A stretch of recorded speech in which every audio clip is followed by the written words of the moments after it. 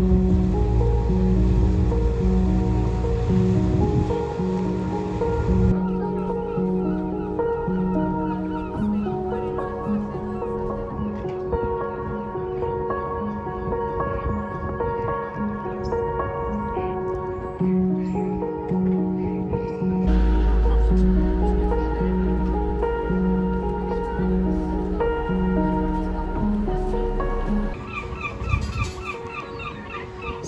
made it to the chip shop and is in the queue.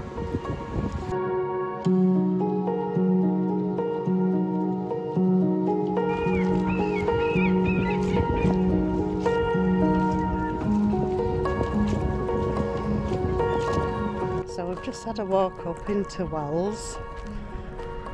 Had a drink or two at the pub, sat out on the front. Just doing a bit of people watching, watch the world go by.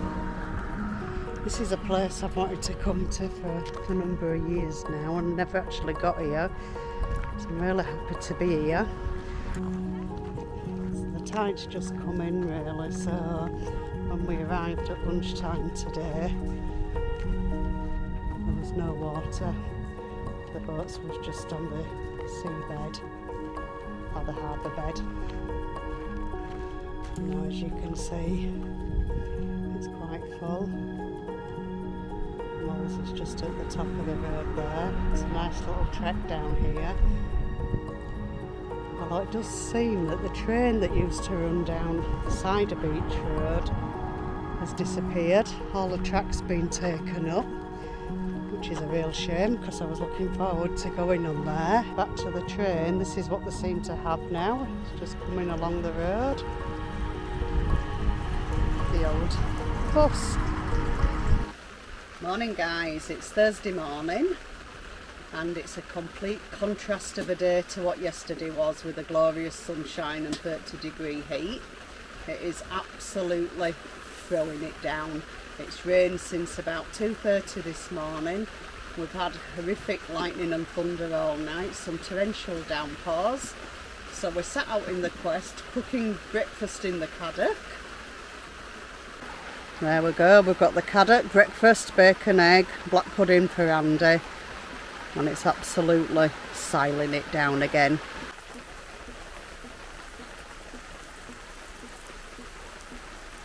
So we're going to just go have a wander down the pathway towards the beach. I think it's quite high tide now, so I don't think we'll get onto the beach very much. And I don't think we can take Abby on at this end anyway. I think we've got to be further up. But I just wanted to see the beach huts. So we'll go on and have a look. So just over the road there, there's a massive car park quite empty today. Yesterday it was absolutely chocker. You couldn't get in there at all. Shows what a change in the weather does for people. So just again over there, that's by the car park, there's a beach cafe. I've not been in there. I don't think I'm going to get chance to because we're moving to Incleborough Fields tomorrow. We only really had the one full day here.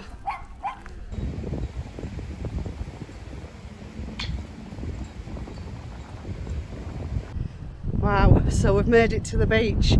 We found a place where we can fetch Abby on.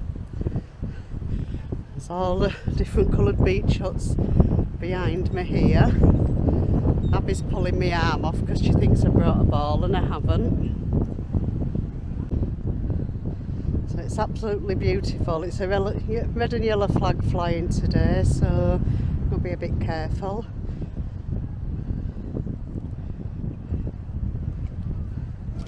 There just seems to be hundreds and hundreds of beach huts.